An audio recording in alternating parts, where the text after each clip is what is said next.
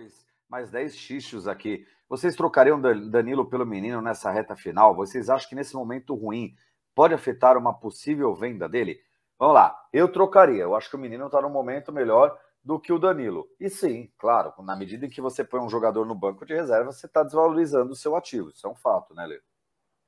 Eu acho que não, não é hora de tirar o Danilo do time. O Danilo tem que terminar a temporada como titular. Não fez.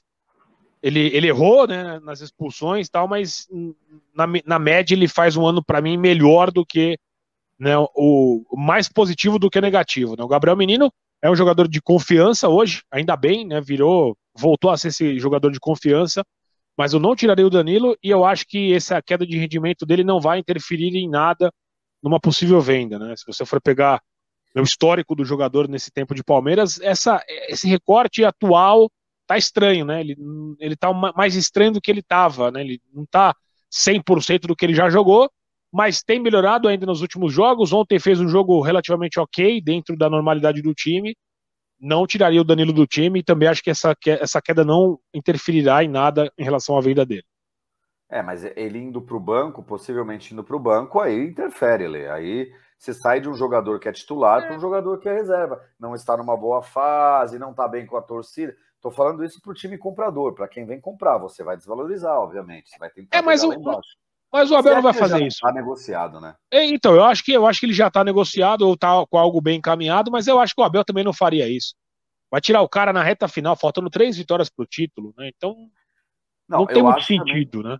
Eu acho que também não, mas a pergunta foi se você nós trocaríamos. Eu trocaria. Hoje eu sairia já contra o São Paulo, por exemplo, com o Gabriel Menino. Não, eu, eu, eu pondero o, ano todo, pondero o momento, eu não faria essa troca. Acho que isso, isso geraria um, um, um incômodo interno que não há necessidade de uma mudança tão drástica. Né? O cara perder a posição agora, faltando sete jogos para o final do campeonato, eu não, não faria isso, não estamos falando aqui agora, cara, a gente estava falando de, de, volante, porque surgiu um super chat aqui perguntando se colocaria o menino para jogar, se o Danilo iria para o banco, e se ele for para o banco, se desvaloriza ele. E a gente estava falando isso. Eu, eu sou meio controverso, eu colocaria hoje o menino para jogar. O Danilo caiu muito, é, caiu Também muito acho. de performance, ele está muito abaixo, e o menino está pedindo para jogar. O menino tá, se recuperou já, está voando, eu daria essa chance para o menino. E aí eu estava falando que, obviamente, na medida em que você coloca um ativo seu no banco, quem vai comprar vai pichinchar, vai falar, pô, mas agora ele já não é mais aquele Danilo do ano passado, tanto que ele é reserva aí, já não está com o mesmo moral que estava com a torcida. E também ponderamos, ponderei aqui com o Lelê, que embora eu acho que o Danilo já está vendido, né? já foi feito, já está concretizado o negócio com o Danilo, porque ele estava jogando muita bola.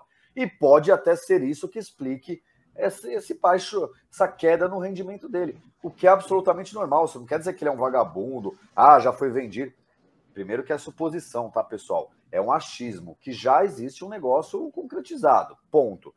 Já existindo esse negócio concretizado, é normal que o menino, menino, ele tem 19, 20 anos, sei lá, dê uma baixada, gente, é normal.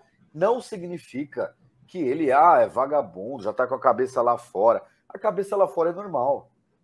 Se a gente, o, o Facinca agora, estava num telefonema aí, a cabeça dele está nesse telefonema, que ele acabou de conversar com o pessoal lá. Ele entra aqui para marcar presença, para honrar o compromisso, para dar é, um alô para vocês, mas a cabeça dele, eu estou falando aqui, ele está lá, puta meu, mas será que o cara falou. É de última aqui, hora. É. é, é, é, normal, mas em, é mas, mas, em relação a isso, né, o Marcão e, e Lelê, uh, o, o Danilo, ele está numa regularidade mais baixa. Né? O, o, Gabriel Menino, por mais que não tenha regularidade alta, mas ele tem entrado bem, o que você justifica, fala, poxa, será que para este jogo? Uh, o Atuesta, será que para este jogo você testar o cara, entendeu? Ninguém está dizendo, ó, fora Danilo, não joga mais, vai um, vai outro, entendeu? Então, assim, eu acho que uh, essa é uma questão que dá para ser levantada em relação a essa posição, como o Abel achou a solução do Mike né, que pedia passagem sobre o Marcos Rocha, jogando muito mais, está jogando que o Rocha, mas com a ausência do Veiga, é, não tendo nenhum reserva imediato bom para aquela posição, Mike, me ajuda por ali, você vai ter a sua chance, acha um lugar para você.